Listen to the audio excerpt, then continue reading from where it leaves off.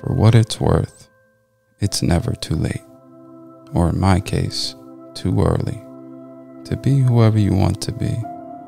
There's no time limit. Start whenever you want.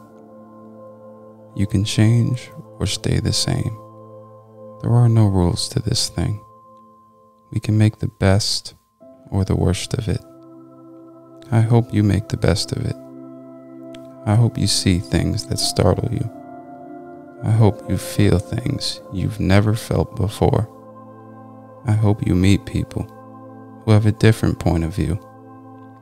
I hope you live a life you're proud of.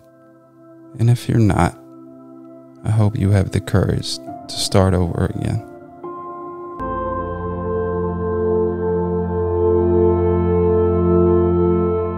Thanks for starting your day with hammock readings. And we look forward to seeing you again tomorrow.